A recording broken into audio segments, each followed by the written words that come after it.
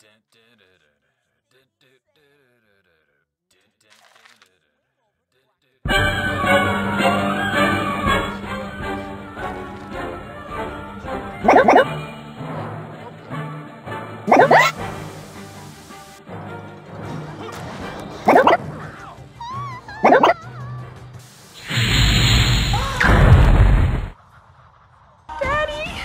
yeah, I went shopping with Lisa today.